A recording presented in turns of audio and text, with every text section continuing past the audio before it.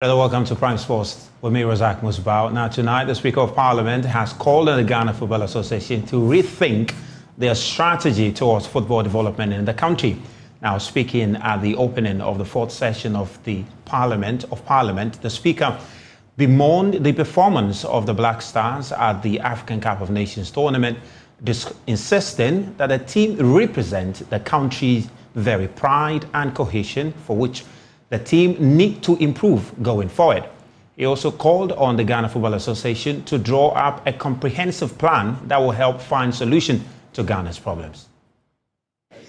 The Black Stars and their handlers must know that they represent more than just a football team.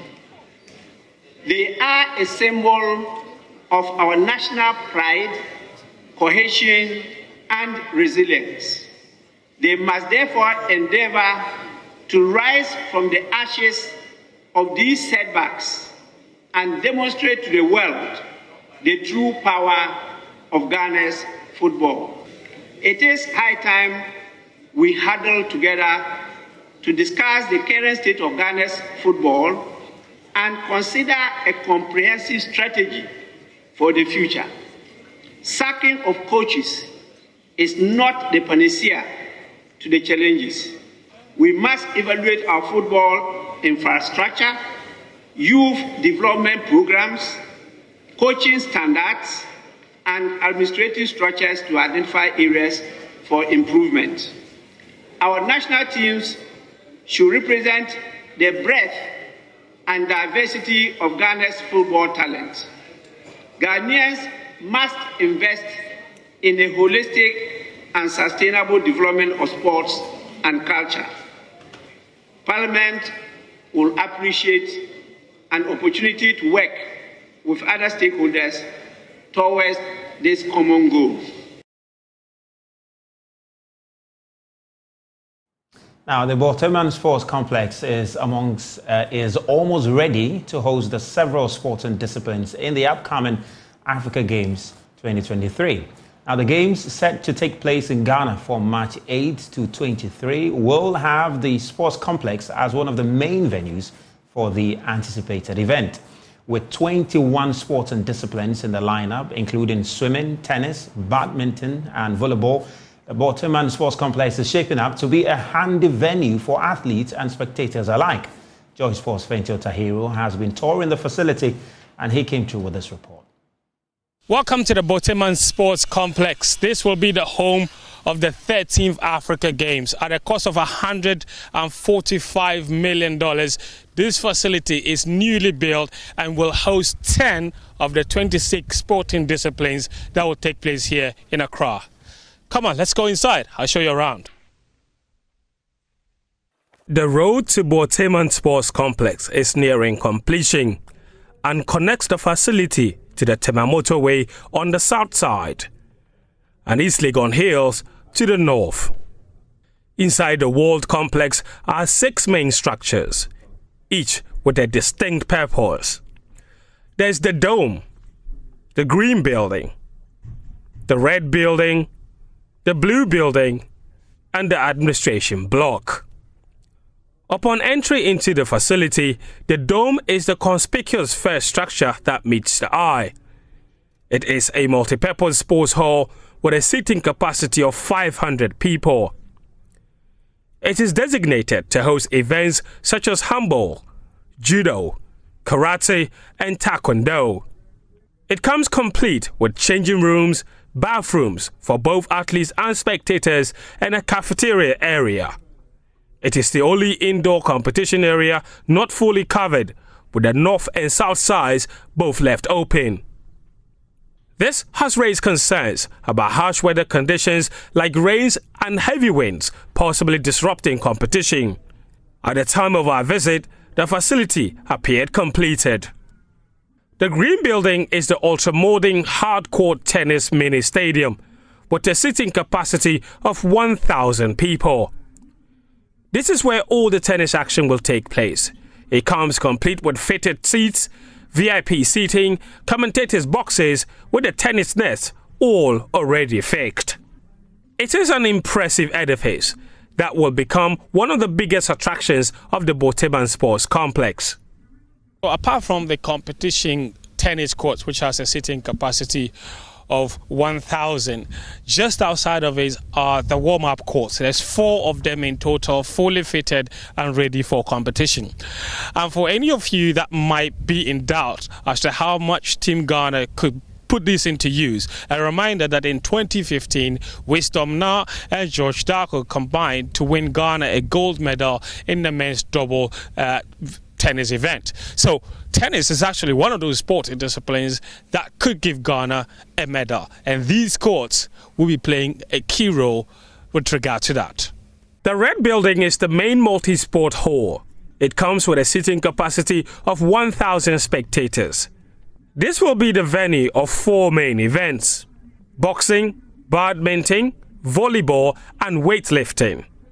It comes equipped with commentator boxes and VIP seating.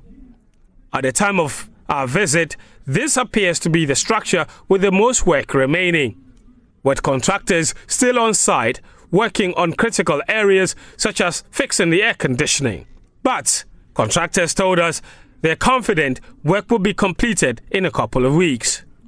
The Blue Building is the Aquatic Center, which houses a brand new nine lane Olympic swimming pool it has a spectator capacity of 1,000, with some of it apportioned to VIP seating. And there are two yet to be completed mini cafeterias. This is one of the things I'm most excited about here at the Borteyman Sports Complex, the Aquatic Center. And it's not just a competition swimming pool that has been put up here, there is a warm up pool right here. And what you see here is a nine lane warm up pool. And uh, it's the place where all of the athletes who will be competing will come in and warm up. It's relatively shorter than the competition uh, uh, pool itself. This is only 25 uh, meters long, half of the length of the competition pool. And right across, if you just follow me, is where the competition pool itself is. And there you see a nine lane competition pool. It's Olympic standard. And Ghana has a very budding swimming scene. Abeku Jackson has set the pace many times. In fact, the Bukom Boxing uh, Arena or the SSNIT Sports Emporium, which has a pool of its own, an Olympic sized swimming pool, does not have a warm up uh, swimming pool or does not have a warm up track. This one does. And this for me, with 1,000 people seated here, could be one of the biggest attraction of these particular games. And beyond the games itself, this presents us with an avenue and opportunity to host multiple uh, swimming competition, international swimming competitions. The SSNIT Sports Emporium has already hosted a number of swimming competitions, international swimming competitions in Ghana, but this takes it to another level. Water for the pool, as well as the entire water supply of the complex, will come from this 130,000 litre water storage facility, which sources its water from two boreholes constructed inside the complex. The recreational area of the complex comes complete with tartan tracks that can host track and field events. But work still remains to be done until it's ready for use, with the lanes yet to be ruled on the track and grassing on the field remains an ongoing process. Joy Sports has also confirmed this is not a certified Mondo track, and records run here will not be accepted by World Athletics. The grassworks on the lawns remain one of the busiest aspects still being worked on inside the complex. The harsh weather conditions not making it easier for the grass to grow faster. There are four car parks inside the Borteyman Sports Complex with a combined capacity of over 600 cars. There are also 40 parking lots for disabled persons, with 12 spots assigned for motorbikes. Government has indicated it will convert the complex into a university for sports development after the Africa Games. Hence, the administration block, which currently houses offices and meeting rooms for officials of the Games. These will then be converted into an admin block for the university after the competition. And then there is the absolute best thing about the Borteyman Sports Complex. All of it will be self powered. Let me explain. what you see behind me is a treatment plant for waste, which is converted into gas to power the facility. And of course, the capacity here will be dependent on how much waste actually comes into this particular facility. So the more people use it, the more it can actually power itself. But for sure, there's ECG and there's generator plans as backup. But the thought that actually went into this is absolutely laudable.